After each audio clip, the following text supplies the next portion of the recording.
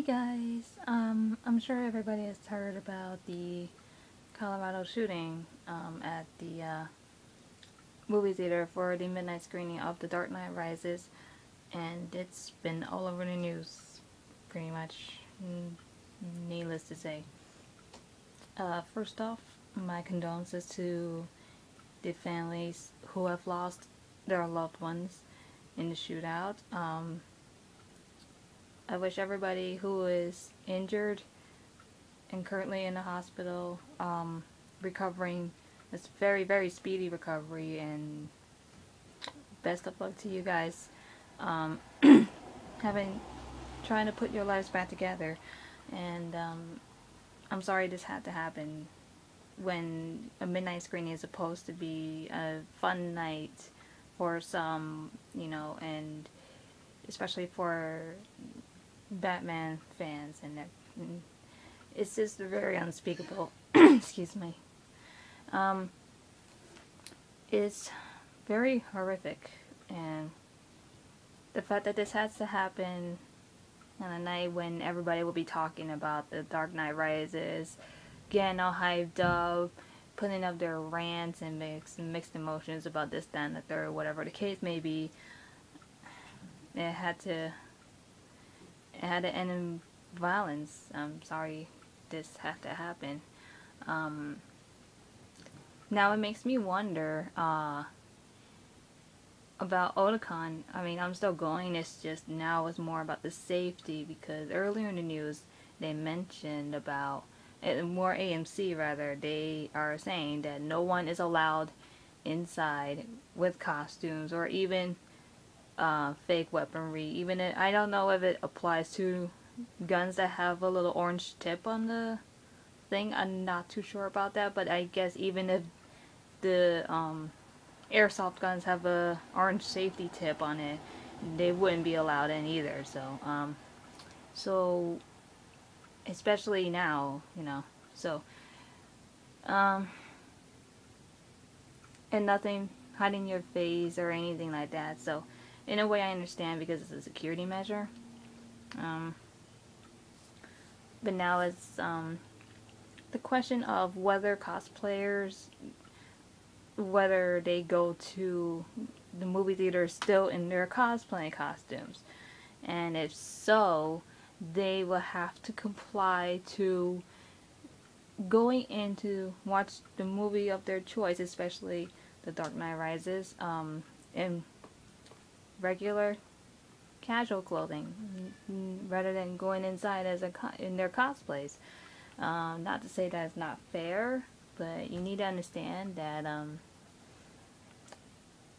it's a real it a simple costume or you you know can trick anybody. Even a lot of the witnesses there have been interviews saying that um, they all thought that this shooter was being like part of a stunt or pulling some kind of nasty prank at them or whatever. They thought that. They didn't they didn't think anything was gonna I didn't they didn't think anything bad was gonna happen until they actually started shooting at people.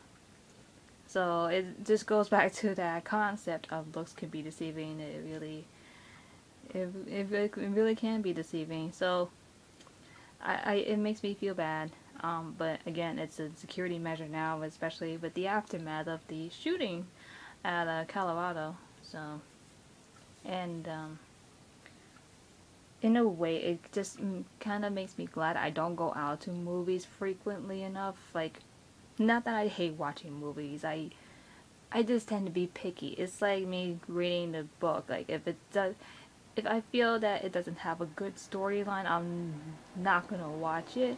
But if people like tell me otherwise, like their honest opinion and how what how they liked it and everything, it's like maybe I'll give it a shot. And um, lo and behold, it's been proven me correct. Like um, old friend of mine, she thought I would like the Hunger Games. I said okay, I'll think about it. Then they got all the hype, and plus with the movie coming out, I said okay, well since I'm going to Thailand, I'm gonna be out for three weeks. I want to keep myself busy. So I bought the box set of the Hunger Games trilogy and on the flight coming back to New York, I was done with all three books, and she was right. So I have no idea if you're gonna watch this, but thank you for that recommendation, because you're proving me right. I do love that, the Hunger Games trilogy. I do love it, and I also like the movie in its own right. Um,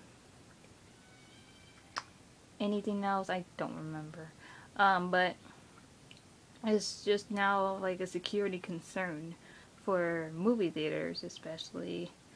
Um, especially now, and then next weekend is Otakon, and I know there are going to be people running around as Harley Quinn or Poison Ivy, Joker, Batman, Robin, Batgirl, you name it. Especially around revolving around this particular movie. AMC at least. I'm not sure about any other movie theater um, company, but for right now, AMC, uh, they're saying that no one is allowed in the movie theater if they're going to be in costume. They're not allowed in it. No weaponry, even if it's fake. No, none of that.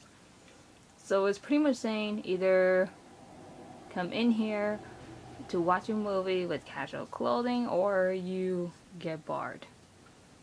Um, again, I don't know how it works, especially now, but that's just from what the latest news has said. So, any changes that happen after this video gets posted, um, that will apply then, and it will override what I'm saying now. So, um, so yeah, again, to all the families who have been infected uh, by the shooting, whether you have lost a loved one or you have someone in a hospital but recovering, um, my condolences to you and I hope that um, things will get better for you guys.